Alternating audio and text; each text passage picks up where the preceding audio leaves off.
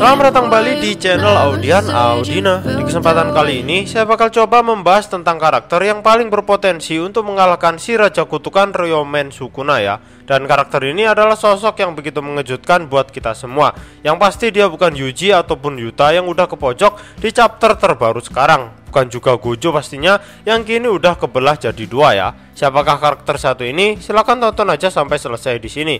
Saya yakin kalian juga bakal tercengang sih. Nah, seperti biasa juga jangan lupa di subscribe buat yang belum subscribe. Lalu kalau udah, ya kita mulai aja langsung pembahasan utamanya.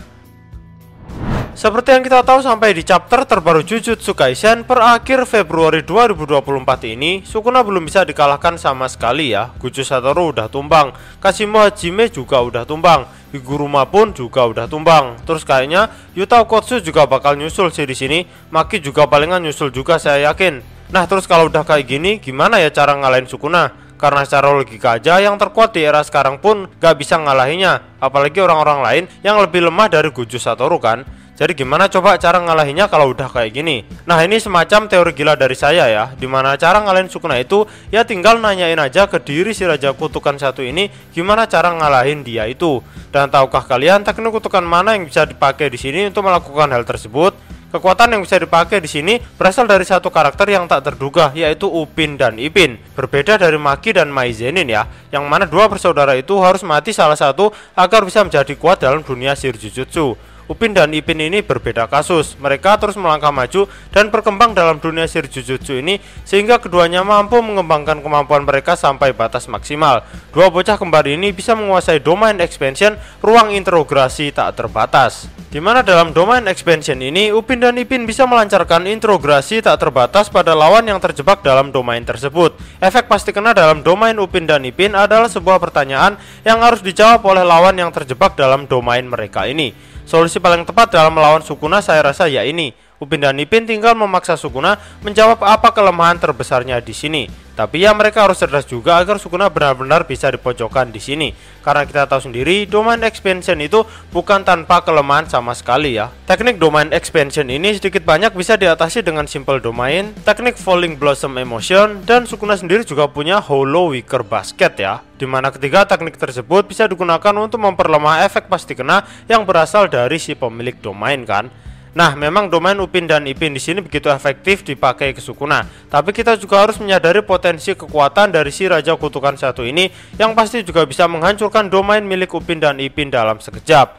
Karena buat yang nonton series Upin dan Ipin pasti juga paham ada tiga orang di sini yang bisa menghancurkan domain ruang integrasi tak terbatas milik bocah kembar ini. Orang pertama yang terbukti bisa menghancurkan domain milik Upin dan Ipin di sini yang pasti adalah Tok Dalang. Ini ada di momen saat Upin dan Ipin hendak menginterogasi Tok Dalang tentang masalah kain percaka Ros yang hilang ya. Kedua bocah kembar ini sudah membuka domain mereka dan menjebak Tok Dalang di dalamnya. Tapi saat sekejap saja keduanya bertanya tentang masalah kain perca ini, domain mereka malah langsung runtuh oleh kekuatan misterius Tok Dalang. Ini yang begitu luar biasa di sini. Tok Dalang tak memakai simple domain dan lain-lainnya di sini untuk bertahan. Dia tapi memakai suatu teknik misterius yang malah bisa menghancurkan domain Upin dan Ipin dalam sekejap. Kayaknya Tok Dalang melepaskan domain expansionnya sendiri sih yang membuat domain milik si bocah kembar tadi hancur. Tapi ya masih misterius sih apa domain milik Tok Dalang di sini. Dan potensinya sepertinya begitu menjanjikan sih.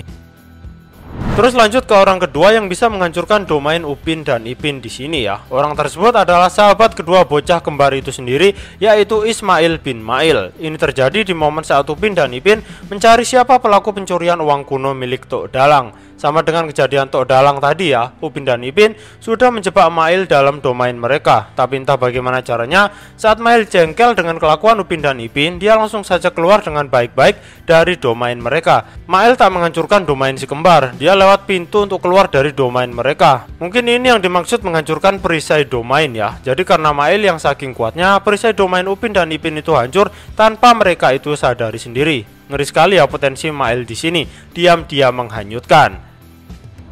Nah, terus orang terakhir yang bisa melawan domain Upin dan Ipin di sini adalah Abang Saleh. Ini terjadi di momen yang sama dengan Tok Dalang di episode kain percaka Ros yang hilang. Upin dan Ipin itu juga menanyai Abang Saleh masalah kain perca ini dengan menjebaknya dalam domain ruang integrasi tak terbatas milik mereka ya. Domain sudah terbentuk sempurna. Tapi kejadian yang sama dengan Tok Dalang terulang kembali di sini. Domain si bocah kembar ini juga runtuh tanpa alasan di sini saat mereka menanya tentang masalah kain perca. Entah kekuatan apa yang dimiliki Saleh di sini. Apakah domain Saleh lebih kuat di sini atau bagaimana? Karena tadi tunjukkan gimana cara Saleh menghancurkan domain milik Upin dan Ipin ya.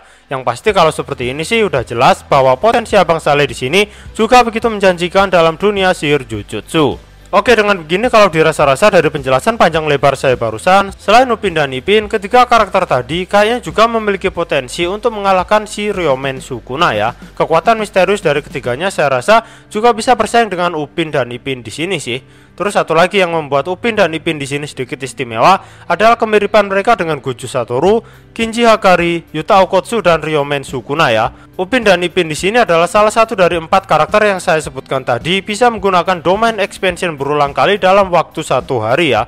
Upin dan Ipin bebas memakai domain mereka berkali-kali dalam satu hari di sini. Hal itu sudah terbukti dalam tiap episode detektif Upin dan Ipin berlangsung ya. Nah itu semua teori gila dari saya yang bisa saya sampaikan ke kalian tentang karakter yang bisa mengalahkan si Raja Kutukan Ryomen Sukuna. Seperti biasa, jika ada yang kurang silahkan kalian tambahkan. Dan jika ada yang salah silahkan kalian koreksi. Cek juga video saya yang lain. Terima kasih banyak dan sampai jumpa lagi.